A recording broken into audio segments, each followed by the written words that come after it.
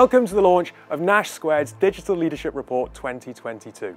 We were supposed to be in Antwerp today, but unfortunately both for ourselves and our Belgian colleagues, we've not been able to do that due to a national strike. Instead, you're joining us from a pop-up studio here in the heart of the English countryside.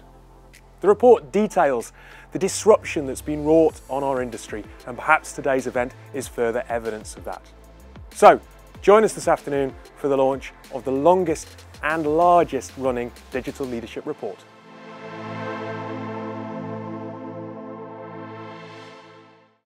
Thank you for joining us this afternoon. Over 900 of you have across 50 different countries and hopefully many more on LinkedIn Live. So, whether you're waking up and you're on the west coast of the USA and this is your morning watch over breakfast, or perhaps this is your evening entertainment if you're in Asia, thanks for spending some time with us.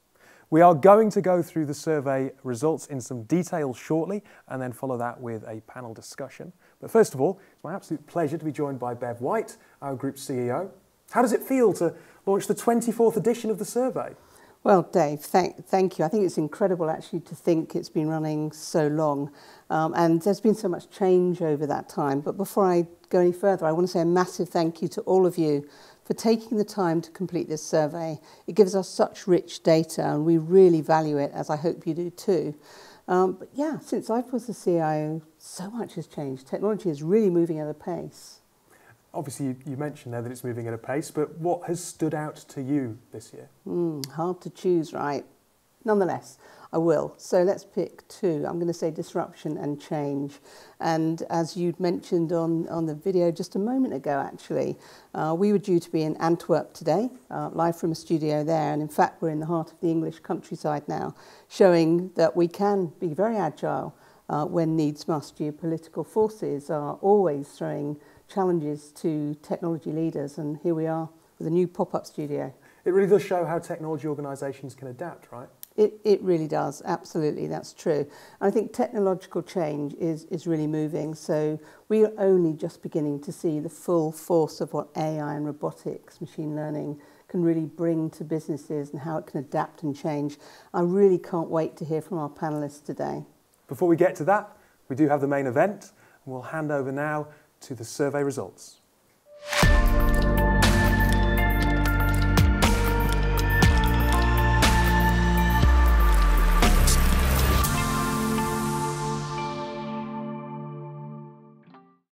Welcome everyone to the 2022 launch of the Nash Squared Digital Leadership Report in collaboration with CIONet. Now in our 24th year, the report has grown to be one of the most influential global studies on the role of the digital leader and everything that goes with it. And on the subject of digital leaders, thank you so much to every one of you who took part. We know it's quite a detailed survey that takes some time to complete, but the feedback we get is that you value the depth and insights that it gives. Now, last year, we reported how we were beginning to emerge from the pandemic. Some may have even predicted that by now, everything would be back to normal. But that wasn't to be, was it, Luke? No, Lily. 2022 has brought more change and disruption than any of us were expecting. And this year's report has shed some light on it. Through this research, we've asked deep questions about how organizations are responding and how digital leaders are evolving. Here we've picked the eight key insights. One theme that emerges strongly from this year's research is change and disruption. Almost 9 in 10 digital leaders believe that major global change is happening faster than ever. Where once disruption might have been a term reserved for new entrants in the market or a competitor's new products, it now comes from all directions, including geopolitics, supply chains, and the great resignation. As the world grows more interconnected, issues in one region have direct implications for other geographies. One example of this is that more than a quarter of our respondents across the globe are rethinking their technology strategy simply as a result of the war in Ukraine.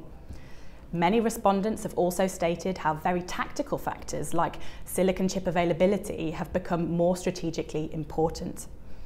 Unpredictability has become the norm, and digital leaders will need to plan for it as best they can. Lily, it's no secret that digital leaders have lowered expectations for growth in the future. A slowdown in technology spending mixed with unpredictable employment trends will make it difficult to navigate planning and budgeting for everyone in 2023. That said, despite less positive economic outlook, at least half of the digital leaders remain optimistic about increasing their technology spend in the face of economic pressures. The third highest reading in the 17 years we've been measuring it. When it comes to the economy, technology has a role to play, both when the sun shines and when the clouds gather. Now, there is no let up in the war for talent. 70% of this year's digital leaders state that a skills shortage prevents them from keeping up with the pace of change. Now, that's the highest we've seen since we started reporting 24 years ago. 60% feel that the rising cost of living has made salary demands unsustainable. Now, businesses run on people, but the technology sector simply can't find enough of them. While the skills shortages afflicting the sector are nothing new, it's a concern that they're worsening rather than getting better. However, what we see in our research is that organisations are taking innovative steps to ease the challenges. For instance, many are redesigning their employee offers to attract more talent with things like unlimited holiday policies. And over a quarter are looking beyond their own borders to access international candidates to work for them remotely. The market for talent is now global. Despite growth in tech budgets, the investment focus has changed. Tech spending on cloud remains strong, but it has slowed in emerging technologies like AI, automation, and big data. This is threatening opportunities to innovate during this period of global economic instability. Almost two-thirds of digital leaders think that big data and analytics will be in the top two technologies to deliver competitive advantage in the next years. Only a fifth feel that they're effective at using data insights to generate more revenue. Both figures are down compared to last year's report, suggesting that big data is only getting bigger in all senses of the word, including its complexity.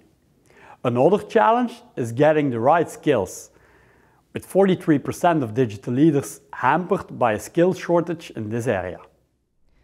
Last year, we saw cybercrime level out a little, and some wondered whether maybe, just maybe, digital leaders were beginning to get it under control. Unfortunately, this year we report that managing cybersecurity has never been more challenging. Increased use of cloud and global unrest has led to 40% of our respondents fearing an attack from foreign powers, and over, that's over three times what it was in 2018. Overall, major cyber attacks have jumped by almost a fifth in the last 12 months, and only around a third of organisations consider themselves very well positioned to deal with the challenge. According to our data, the largest organisations are the most risk from attack. Now, there are three possible responses to dealing with cybersecurity attacks accept, remedy, or move the risk elsewhere. It would appear that many digital leaders are choosing the last response and moving operations to an external provider. But regardless of who runs the technology, the risk still remains. 41% of our respondents state that cloud has only complicated cybersecurity for their business. It is no surprise that our research shows that remote and hybrid working models rapidly deployed during the pandemic are here to stay, as workers value flexibility and organizations benefit from a wider access to talent. Almost a third expect staff to work in the office one day a week or less. Fewer than 1 in 10 expect them in every day. Being office-based for around 2 to 3 days is the typical requirement. During the depth of the pandemic, remote working was a technology that kept many organizations alive. But is the honeymoon period over? The research shows that what is good about remote working, for instance, productivity, is less good this year. And what is bad about it, for instance, mental health, is getting even worse. So many organizations are thinking very carefully about how they support their employees as they move into a hybrid working model. I've been presenting this survey for nearly eight years now, and the outlook for gender diversity has often been disappointing to say the least. So I'm pleased to finally be able to report some positive news here. Almost a quarter of the tech team is now female, and the pipeline is improving, with 28% of new hires being female too. Female digital leader respondents to our survey are now at the highest level they have ever been, at 14%. So we should pause to celebrate this. It's taken a very long time to come, But I hope you'll all agree with me that 14% is still not close to being good enough. And the pace of change is slow. At the current rate, gender participation will reach 50 50 by 2060. Many of us may not live to see it. And taking diversity in a wider sense, although some ethnic minorities are relatively well represented in tech, the higher you go up the career ladder, the less diverse it becomes. We've had years of diversity initiatives, quotas, and positive action, but not always a lot to show for it. I cannot think of a better career for someone to go into than tech. It's creative, it's well paid, and you have the potential to change the world. We need to get the word out so that everyone is included. It's never been easy being a digital leader. But as organizations become even more reliant on technology, the consequence of choices made or not made significantly grows. The challenge for many digital leaders is to balance what's urgent and what's important. And for many, dealing with cloud, cyber, and resourcing is enough a job to be getting on with. But what this research shows and has shown over its many years of running is that the really successful digital leaders look beyond what's immediately in front of them. While cloud will keep you alive today, it's data, innovation, and diversity that will help you flourish in the future. It's no small task, but successful di digital leaders didn't become leaders because it was easy. It was because they wanted to make a difference. And in today's technology driven world, the opportunities to do just that are everywhere.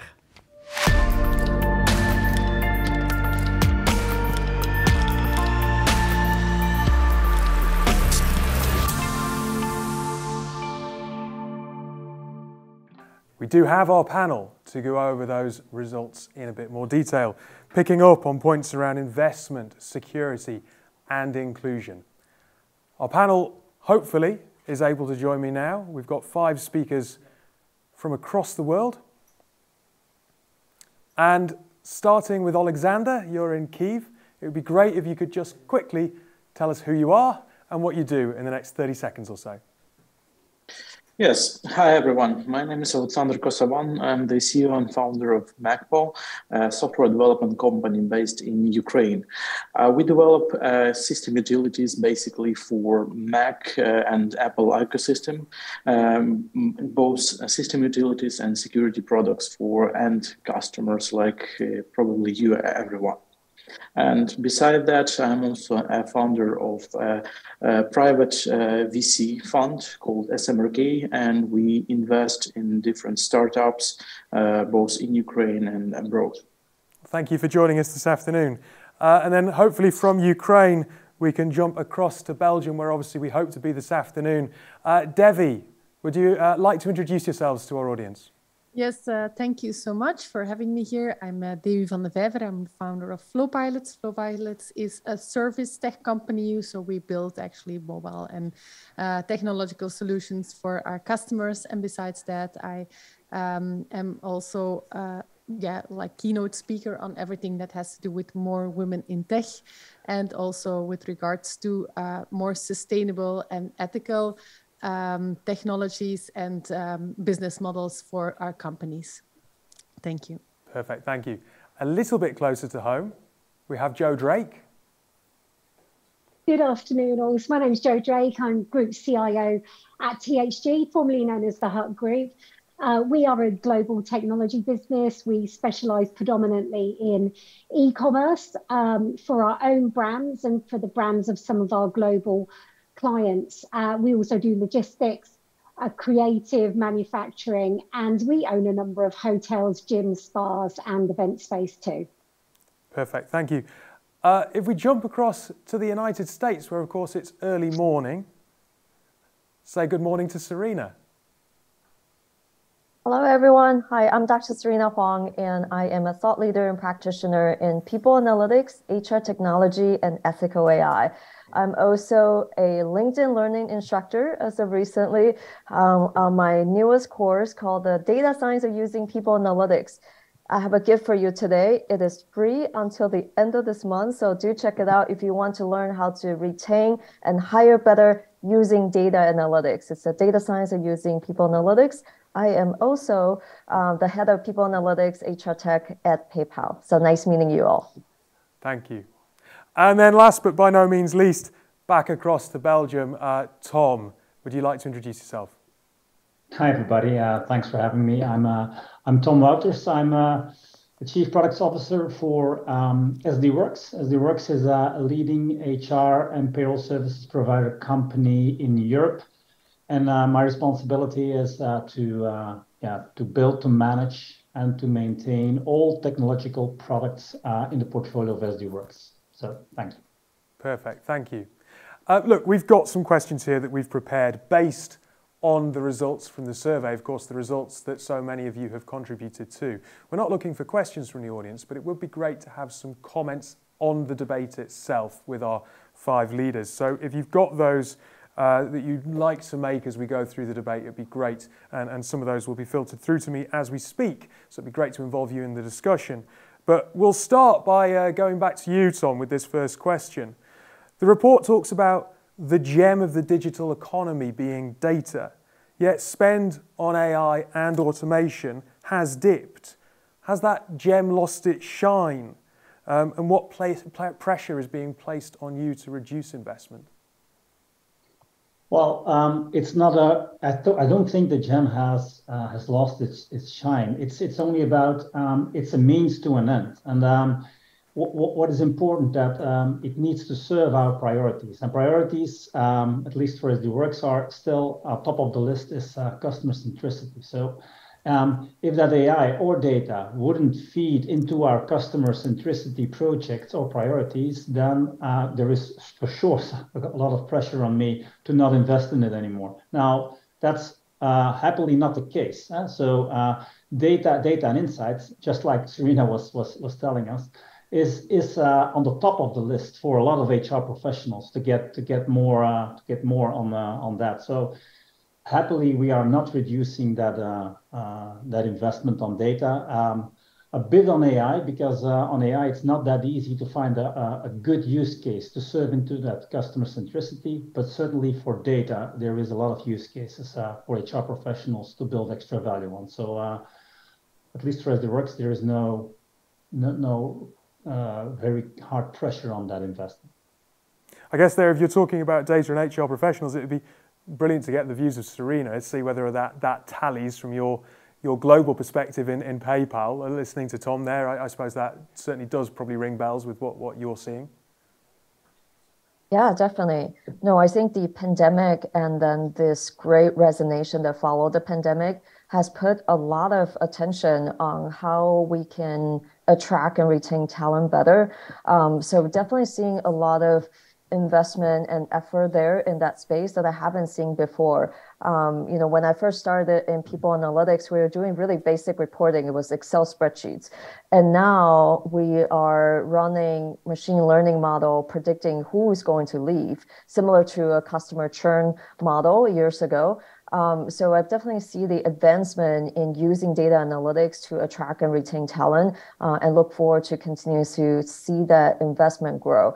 I do think that we are starting to find it difficult, um, certainly in niche fields where uh, talent is very scarce, right? And so we're thinking about how we can actually upskill or reskill employees internally and create internal mobility to help retain talent because it is much easier to keep them than to go out and find them. With regards to this, it would be interesting to know where your priorities are. Um, Devi, let, us come to you. Tom talked very much about the priority being around customer centricity. Um, what, what do you think the priorities are for the industry at the moment? Um, yeah, it's actually the, the, the irony is that with technology, when I hear Tom said, yes, it's still uh, difficult to find the right use cases with, with AI. And I think with all new emerging technologies, you have that um, feeling like you have to do something with it, but it's still difficult to find the right uh, applicative uh, means. And so i think the industry especially now with the, with yeah this recession coming up has come to this conclusion that of course like all these projects are very interesting but you have to look into why you are actually implementing them. And what i think that industry should be focusing on is again like rethinking strategy. Like what is the purpose of your company? Where are you going for in the next uh, couple of years?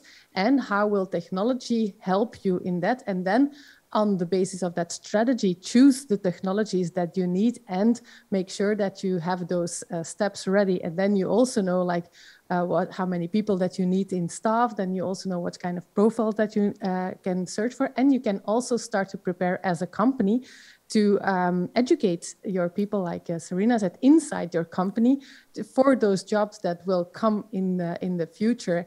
And I, uh, I still find it um, amazing that a lot of companies sometimes still like uh, I say implement projects for the for the, for technology first kind of thinking instead of actually strategy uh, first thinking. Only last night, Nash Squared were uh, fortunate to host a number of politicians and of uh, some of our clients at the Houses of Parliament. And interesting that you were talking there about strategy, Debbie, because th- there was very much a slant there that we have to be progressive with innovation. We have to make sure that companies uh, stay on, on the front foot. Looking at the survey uh, and the results, innovation is secondary to operational IT. Alexander, it'd be great to come to you. Isn't innovation the focus that we need to stay on that front foot? Isn't innovation what is going to drive us through, through recovery? Uh, well, definitely without innovations, uh, we wouldn't be probably here. Uh, I think uh, all of the crises are uh, sparking some uh, innovations, and even though big companies may may lose some customers or may reorient their businesses, there are a lot of new companies that are arising every day in the times of crisis. Crisis. Even our company was started in 2008 just at the beginning uh, of the glo- global crisis, and uh, here we are today. We are uh, we are still innovating and hoping for the bright future. So, yeah, I think without innovations it's not impossible to imagine it's impossible to imagine the technological future how just to stick with you how easy is it to innovate in times of crisis uh, well, you don't have a choice. I would say so. Uh, when crisis happens, uh, uh you you lose money. You lose sometimes uh, the previous uh, tools that were available to you, and you have to adapt to survive. And ac- actually, I would say that it is much easier to innovate because you have some external factors that are forcing you to do so. Joe, I mean, from, from the British perspective, as I said, we, last night we were in, in Parliament. Interesting that Alexander said there, you know, you, you have to, to adapt. Um, it can't just be about protecting revenues right now, and I understand that that's kind of the default setting for business, but as a technology leader of, of THG, and as someone who's recently been voted the number one CIO in the UK, mean, what, what do you see as the role of the, the CIO community in driving innovation? I think it, uh, firstly, I think there's a bit of a misconception about operations isn't a place where you can be innovative as well. I think there's sure.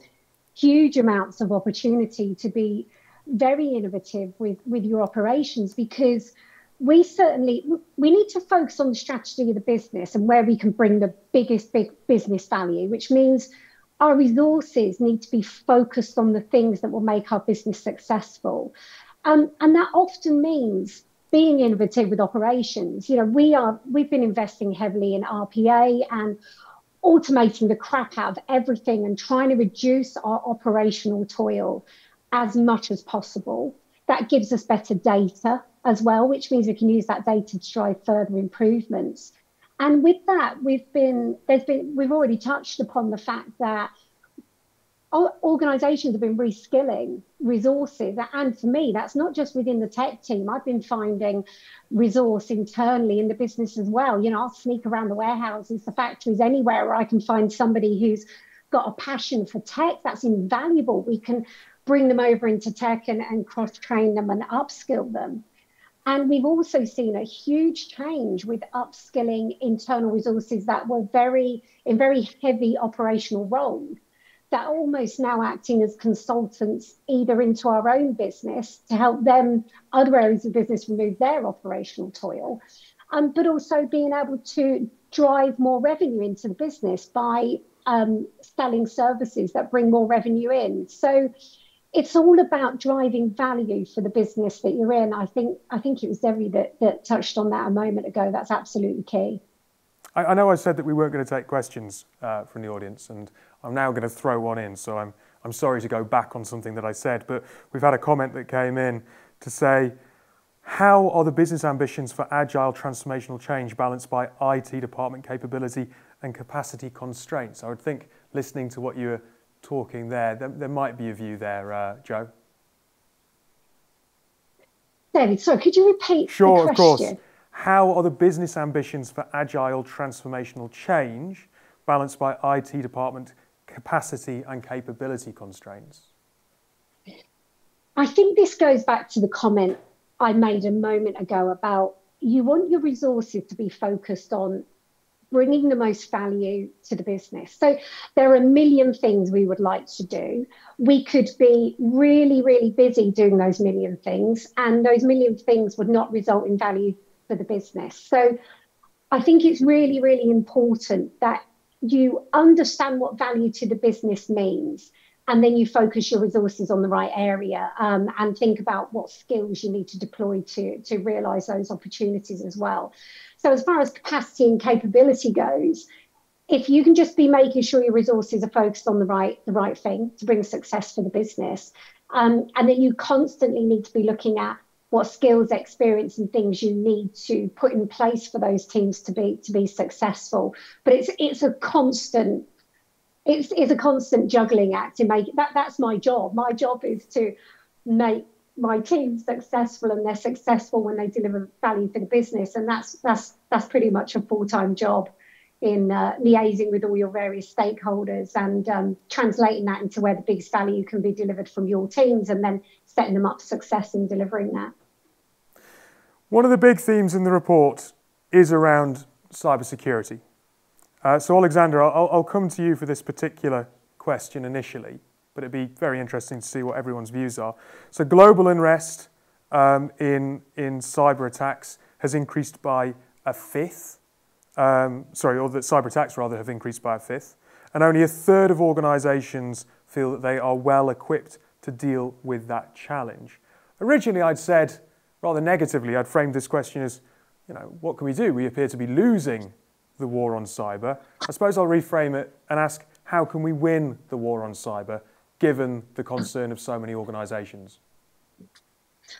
Yeah, thank you for the question. I think uh, that uh, cyber security importance uh, is uh, uh, much much more critical than we thought before, uh, because lately we see that cyber attacks are not just random events by some random groups. the cyber attacks are becoming a cyber weapon for some countries. Like, for example, in 2000, uh, 2017, uh, Russia has launched the most destructive cyber attack in history, uh, which was called NotPetya attack. Uh, it's, it was a ransomware widely uh, distributed by the Ru Russian military that was targeting Ukraine's government, financial, and energy institutions, as many as well as many Uh, international uh, companies' offices in, in Ukraine.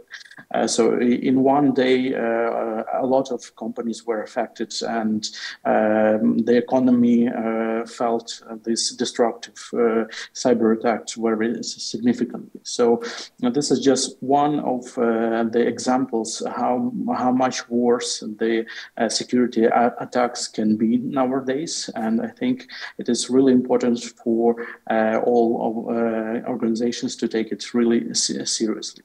And it's not just uh, in the responsibility of one uh, cyber uh, department or one uh, office IT department. It, it is responsibility for almost every employee because uh, uh, the weakest point in the chain is, uh, is, is one person. So even an average employee with access to some internal information, to access with some client information, could have a serious effect on your business and and, and your company. So it is really critical.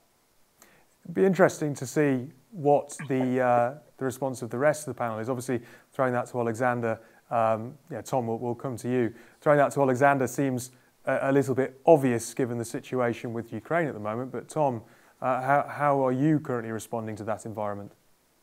Yeah, I uh, just want to respond to, to Alexander's sure. um, point of view. I, th I think it is indeed a question of investment in technology, um, a portion of it, uh, to prevent these attacks or to log them or to uh, to respond to them. But um, I think the more important thing is to create awareness amongst our, our key users and our and our and our own employees because that is the uh, as Alexander stated it is, is the weakest point uh, for all our uh, our companies. Uh, where um, if the awareness of these of these cyber attacks is not high enough, and yeah, just like a lot of you guys, but also we are are dealing with a lot of delicate data of our customers, payroll data in this case. Um, so um, we are also subject to these attacks uh, in a lot of these cases. And um, yeah, the most of the uh, data privacy problems that we that we could have is uh, with our own employees not being aware of these attacks. So um, I think uh, our investments, as we are doing right now, is in, in, in uh, increasing that awareness and the way to deal with it uh, with our own employees, is, I think is still the best investments that we can do. It's interesting there that you talk about employees. Again, if I hark back to last night, we had someone describing a situation where they um, actively lock their iPhone in a box when they uh, are in a meeting for fear of some of that data perhaps uh, being, being taken. What works when educating people? It'd be interesting. Perhaps, Joe, come to you first of all. You've got a, a large internal population uh, uh, of users. How best do we educate people, to Tom's point, to make sure that phishing attacks, which we've seen on the rise, obviously, are, are less problematic for organisations? I mean, I think I bet a lot of organisations do similar stuff to to what we do. You know, we do lots of uh, online training. We talk about uh, this stuff a lot. We educate people a lot. We test people a lot. We do a lot of internal um, phishing attacks on our staff to make sure uh, that, that, they're responding in, in the right way. Um, so yeah, it's really just education, education, talking, testing, um, all of that sort of thing, really. Anything that any of our panel would point to that has particularly worked uh, with their employees? Um, looking around now. Anyone, anyone going to step forward with a suggestion of, of, of, of kind of a route to educating? No, everyone's shy. I, okay. I can share. Okay. Yeah, I can sure. share a little bit. Um, you know, certainly we do very similar similar tactics, right? Educating employees and, and practice uh, to see if anyone uh, gets tricked. But I think there's broader application as you think about training now that many companies are still either hybrid or completely remote how do we deliver training when it comes to whether it's cybersecurity or some other topics effectively? That's very much on my mind, and I know on many leaders' minds as well. Something that um, we have seen effective is making the training shorter so that it's more bite-sized chunks. No one wants to sit through, trust me, a 90-minute video training of any sort. And if you can make it fun and competitive, the better. So whether it's you know setting up competitive games to see who is able to finish faster, which team completes faster within the organization, and have a scoreboard, you know, showing that could be really fun and get, get more employees to engage. Um, so make it short, make it fun to the extent that you can, and that will make sure people are more willing to participate, especially something that appears to be less interesting of a training. Thank you.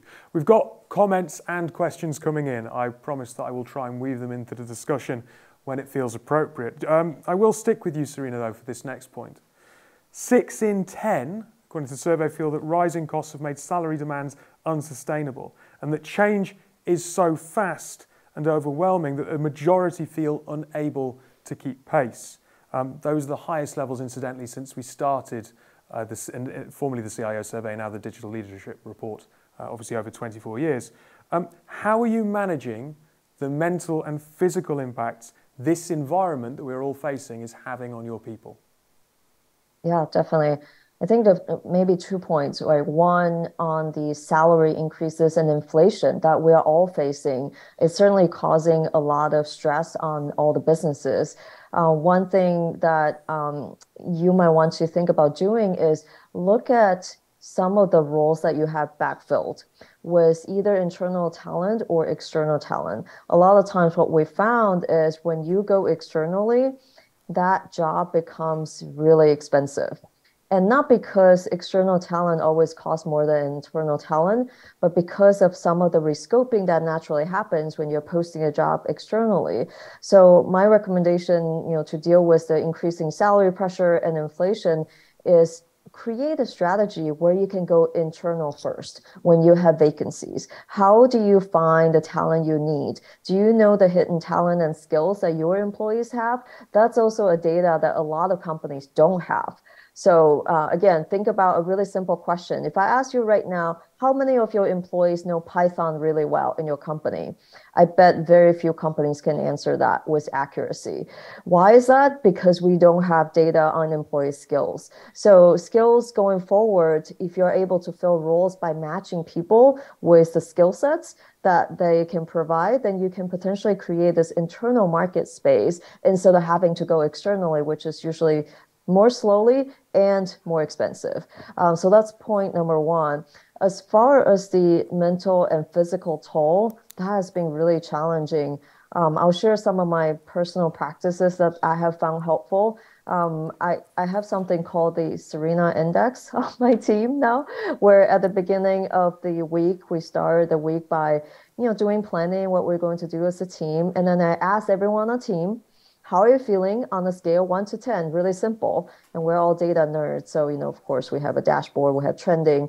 And then on Friday, we ask again, how are you feeling now as we close the week? So we check in on employees who have a, seen a decrease, you know, over a course of five days. We also check in on employees who are a bit lower. And then we check in, you know, have people who have higher scores share why are you feeling so great?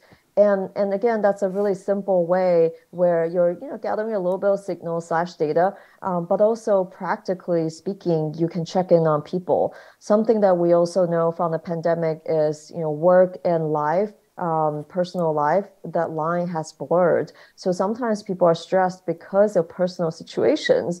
And through those conversations, I was always able to hear from my employees on other things that's not work related, uh, if they're willing to share, that we can all help them with. Lovely to hear your comments. Uh, Devi, it'd be interesting to kind of hear what your response would be to some of that. Um, there we're hearing about go internal, use data. Um, we often talk about innovation. It'd be interesting to know if there are any innovations that you think can help this epidemic around mental health. But at the same time, Serena there is talking about something as simple as checking in, uh, which feels very uh, analog and old school. What, what do you think is working? Is it, is it about innovations? Is it a, a bit of a blend of these different approaches? Um, I think uh, we're still all humans, and humans like attention. And your empl- employees just want you to, uh, they want to be seen and I think sometimes that's something we forget with all this technology and talking about uh, the metaverse and VR and that we can connect like that and all these chat rooms and Slack. That in the end, um, yeah, people just want to be be known and seen and also be appreciated. And uh, I think that is for uh, especially leaders of companies and, and uh, managers. One of the, the most uh, important jobs at this moment is to make sure that uh, their, their per, the people that are in their team uh, know that they're um, that the, the, ones that are there eh, plus one know that they're there, that they know what they can, what their skill set is, and that they are uh, also um, asked for um, putting their their their knowledge into the the company and to um, to collaborate with each other. And so I think that, um, of course, um, tools and, and can help. In Belgium, we have an awesome startup which is called uh, Bloom Up. Uh, it's especially for, for tracking mental health. And I, I do believe that some people uh, uh, have benefits of having these kind of applications, reminding them to have like a 10 minute break after sitting like for hours after uh, behind the computer screen. And uh, I, uh, or these cool applications like Headspace.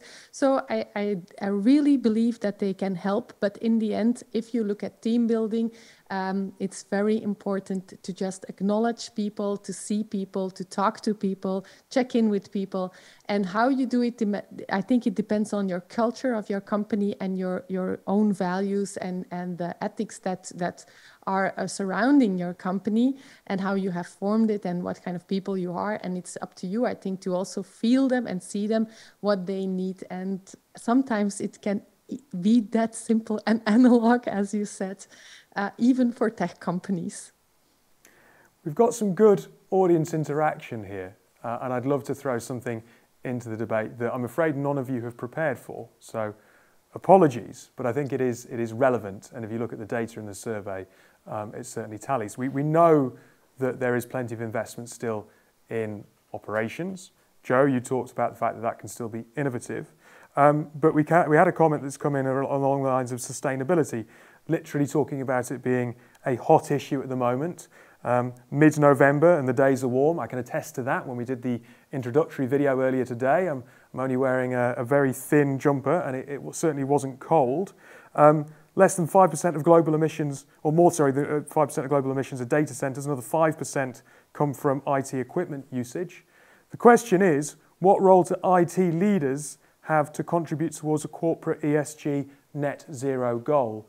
Um, sorry to pick on you, Joe. I suppose we, we kind of talked a little bit about operations before.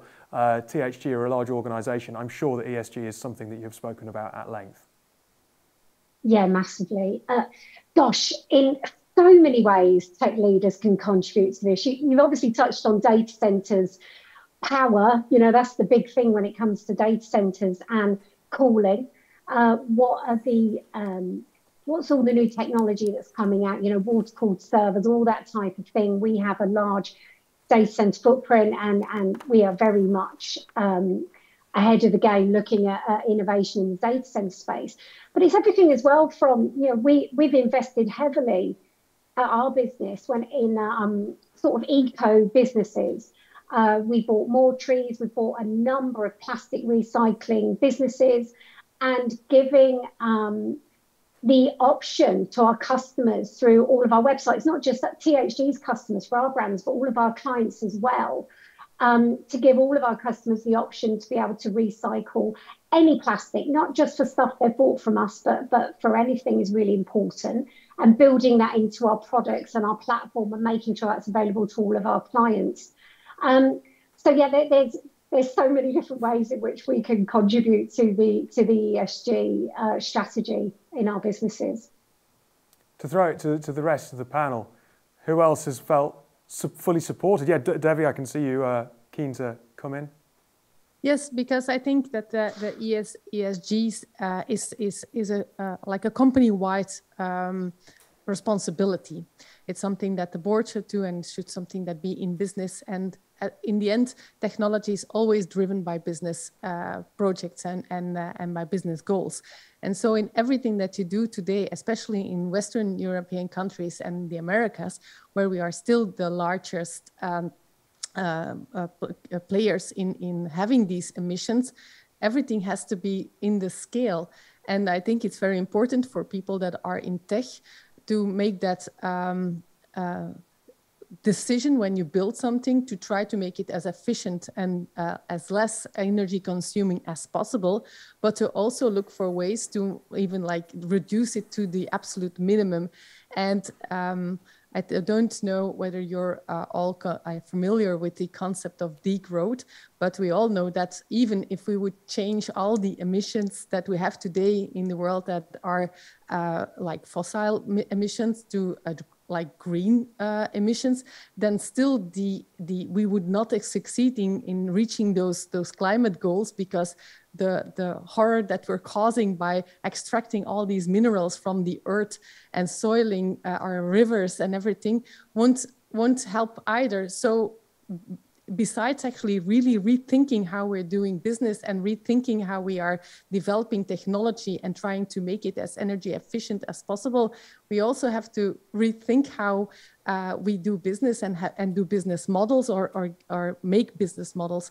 And I think still, I, with, with your report and, and of course to have this, this, this forum, it's something that um, we we really need to like put all these brains together and start thinking about those aspects as well with regards to uh, yes uh, reaching those sustainability goals and indeed having a, planet that we hopefully can live uh, on beyond 2050 and i'm talking for myself but also for my uh, my children and hopefully their future children. Of course. Uh, alexander i can see that you're keen to jump in Uh, yeah, I wanted to highlight that the carbon footprint is not only about the companies who are producing this carbon footprint, it's firstly um, uh, about the consumers who consume products that uh, produce this carbon footprint.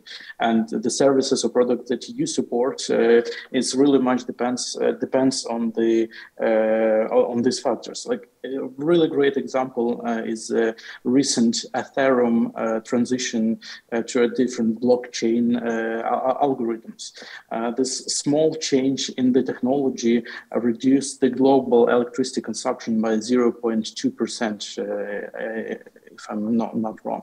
So, uh, for example, if you would support products that are more ecologically friendly, uh, it will have much much bigger impact on the ecology than uh, uh, than an, uh, one organization that will uh, re reduce the car carbon footprint. One topic I'm really keen to talk about is uh, diversity, and in particular gender diversity. The report states that whilst the pace of change is slow, there are record levels of female participation in the technology sector. Um, I suppose the first question would be, what's working if that's the case?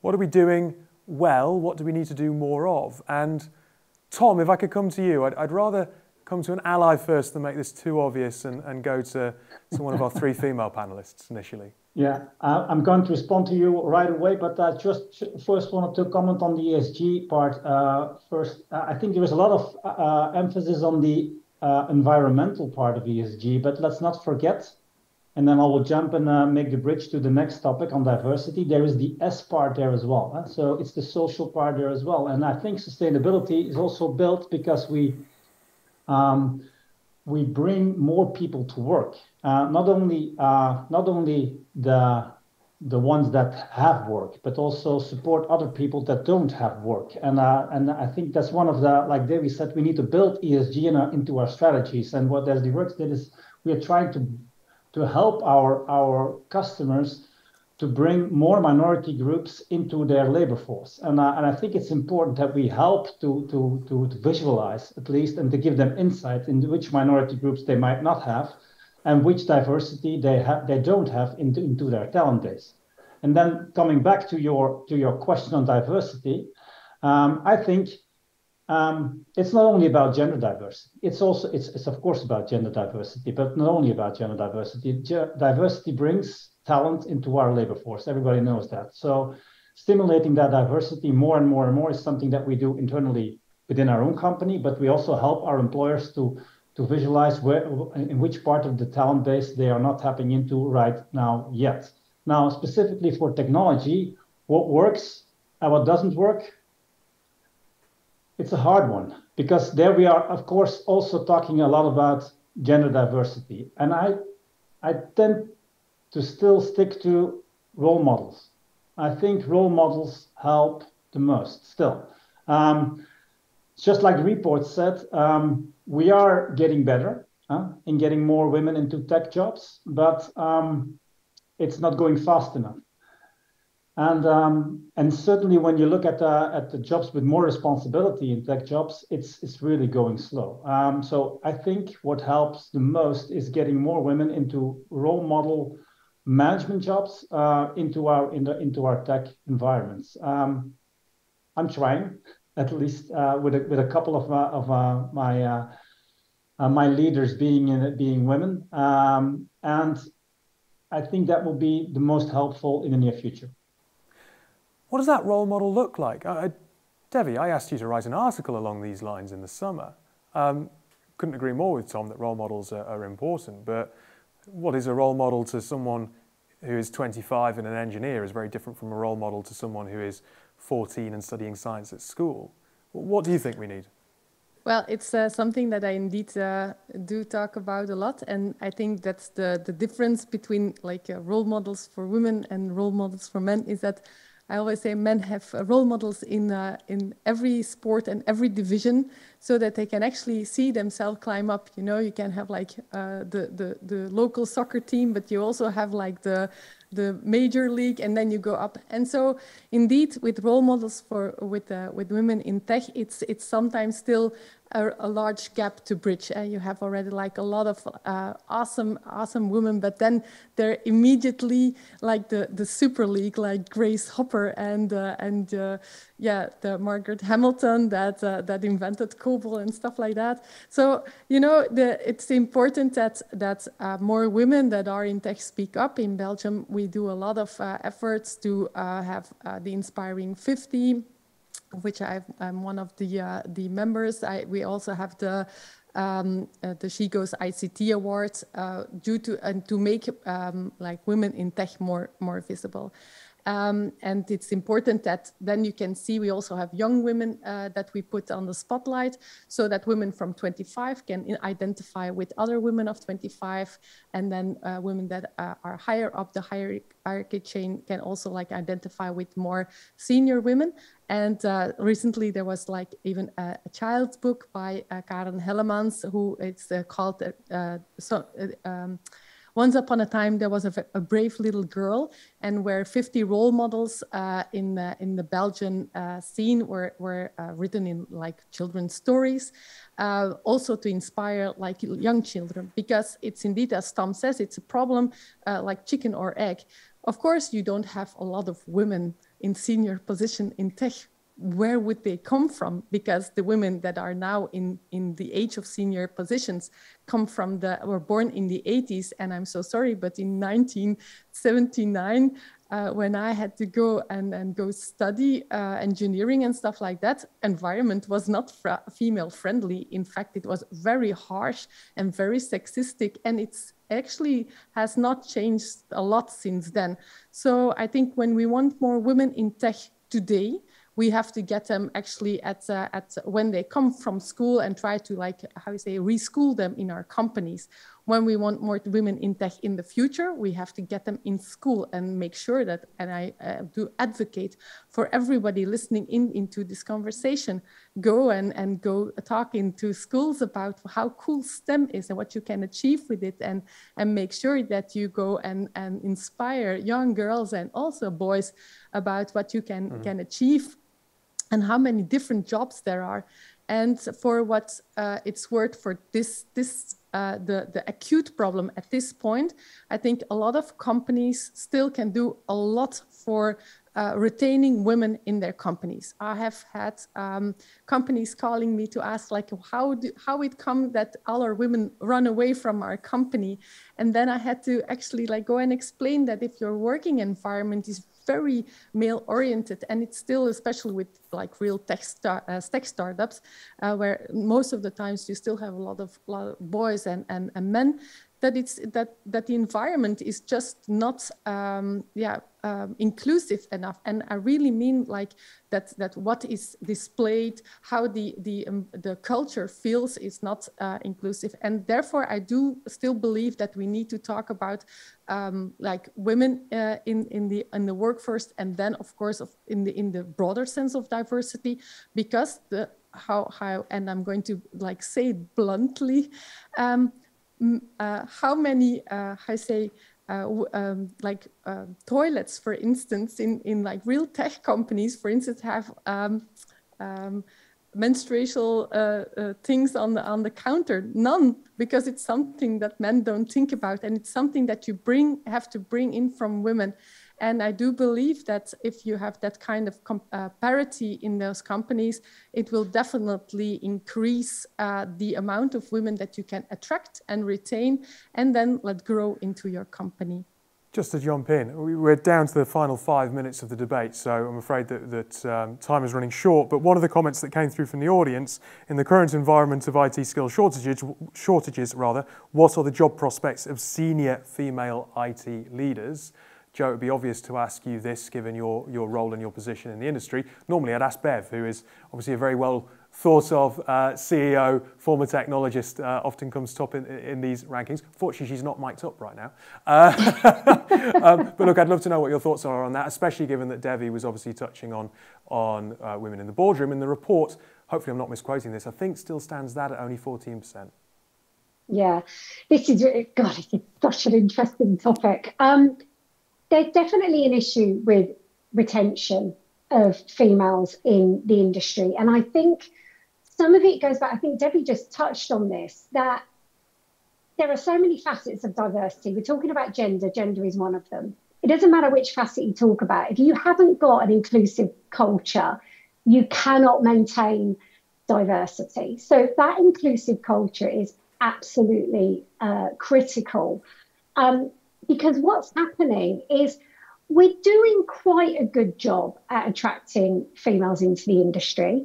Um, we're not, I think we need to be better at looking in different places for them. We talk about STEM a lot. We, we, we need to talk about other options of early careers and different ways in, different routes into the industry, apprenticeships and things like that as well. Um, industry switches and changes and return to workers and ex forces and all of those sorts of things. There's so many places we can go look for talent. Um, so we're doing quite well at attracting it in, but we're losing it. So we're about in the middle of somebody's career, sort of mid-management. Um, females leave our industry. They're not leaving work. They might take a break from work and they go back to a different industry. And that's really, really telling. And I think some of it goes back to what Debbie touched on about it can be quite an aggressive, sort of male dominant um, environment we know that it's it's an always on industry. It's a 24 7 job um, for sure. But I don't think we talk about enough of the other benefits, the flexibility, the fact it's the best industry on the planet to work in because you can change the world, you can do anything you want to do. You can take something that's a massive passion um, and apply technology to that because every business is a tech business. And I think we need to shine those positive, you know, the light on those positive messages about the tech industry to retain talent beyond mid management. So we see more of um, more females at the big table in the boardroom and representing our, our businesses. Look, that is pretty much our hour. And I'm going to ask Bev to join me just to close the session out. But first of all, thank you to the five of you for joining us and being part of our panel today and offering such rich insights. Thank you very much for your time. Um, Bev, the report talks about the fact that successful leaders are the real, they know the real focus rather is diversity, data and innovation. Hopefully that came through in the questions in our panel today. Um, what, what do you think, reflecting on what you've heard today? Regarding diversity? Regarding any of those any topics, of those. take well, your look, pick. I, I'm going to say we started out by talking about disruption being one of the core factors, and, and we've heard actually how our panelists and their businesses have actually responded to those disruptive factors, and they come in many guises, as we've heard. I think the agility, those organisations that are agile and can adapt quickly are the winners in all of this, and will continue to be so because we're in a disruptive world. In fact, let's face it, this afternoon, some of you have had some challenges uh, reaching and hearing some of our video segments.